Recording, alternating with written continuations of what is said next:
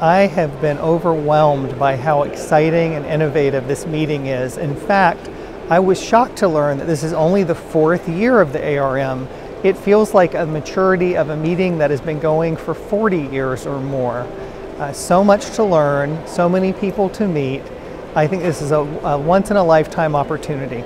I really felt a great connection with the audience. It's amazing how eager everyone is to learn, and I also love the informality that people uh, come up and introduce themselves afterwards, and I've had some really great conversations just since finishing my talks this morning.